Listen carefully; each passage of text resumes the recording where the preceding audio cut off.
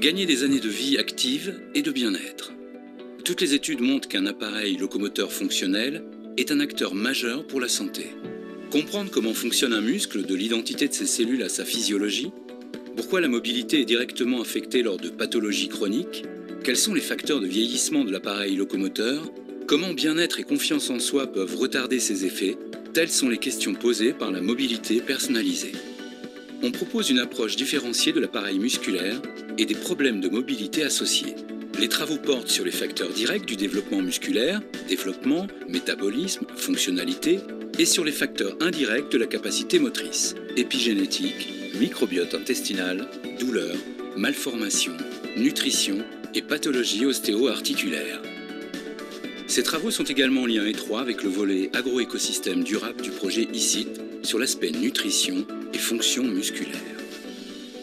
Les transferts technologiques sont facilités par l'existence de quatre clusters dédiés à la santé. Douleur, probiotiques, thermalisme, nutrition qui facilite la valorisation des découvertes. La mise en œuvre de modalités d'exercice individualisées est permise grâce au projet Bien-être des étudiants, aux initiatives Bien-être au travail menées par les entreprises du site ou encore au projet Mobilité personnalisée mise en route dans les services hospitaliers. Ces exercices concernent aussi bien la population active que des patients souffrant de maladies chroniques. Le projet poursuit finalement plusieurs objectifs créer un concept de vie, l'expérimenter en Auvergne et le diffuser à plus grande échelle. Imaginez une mobilité adaptée à chaque individu, à son âge, à son rythme de vie, à ses pathologies, à son travail. Optimiser la capacité motrice personnalisée tout au long de la vie. Développer une gamme de médicaments et de probiotiques. Et enfin expérimenter une nouvelle forme de médecine préventive.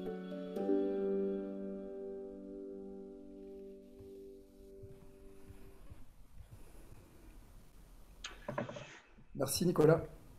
Je t'en prie, donc euh, je te laisse tout de suite. Tu peux partager euh, ton, tu peux partager ton, PowerPoint et puis euh, enchaîner.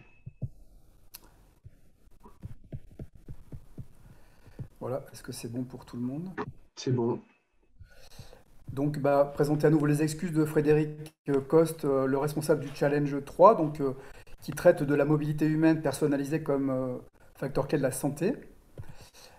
Euh, voilà, cette, euh, cette, mobilité humaine personnalisée donc, euh, se détermine en fonction de, facteurs musculaires, de capacités motrices.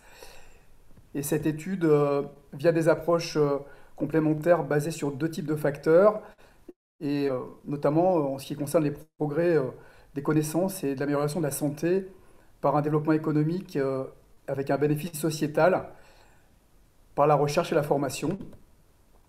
Donc cette, euh, cette mobilité humaine personnalité euh, euh, s'inscrit sur quatre, dans, quatre, dans quatre domaines. Hein, la recherche avec une recherche clinique fondamentale, un impact économique, la formation, un impact sociétal et un impact sanitaire.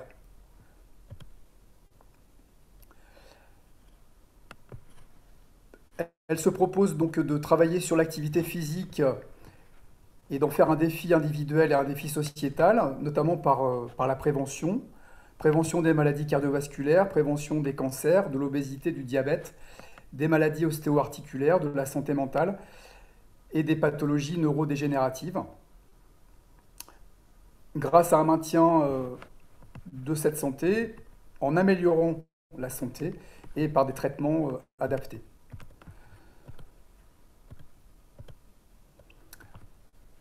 Donc ce, défi euh, met en mouvement six actions, hein. une action recherche, une action valorisation, des soins, une action sociétale, un effet d'entraînement et des formations.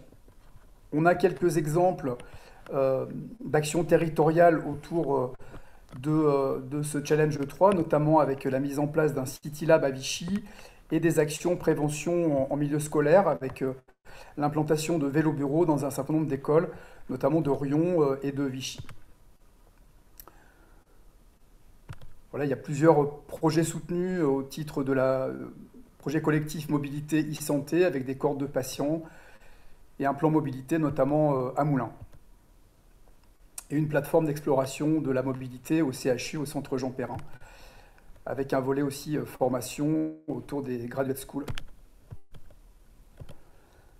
Donc voilà l'objectif du challenge, hein, c'est une montée en puissance avec en ligne de mire la création d'un centre européen de la mobilité à Clermont-Ferrand.